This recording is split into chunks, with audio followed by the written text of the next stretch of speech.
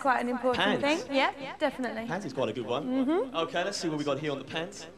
We have Long John or Short Thong. Well, I like my man to look good all over, so we definitely have to get rid of the short thong. Get rid of no, the short thongs? No drop No straps. Oh! Short thongs, you've got to go!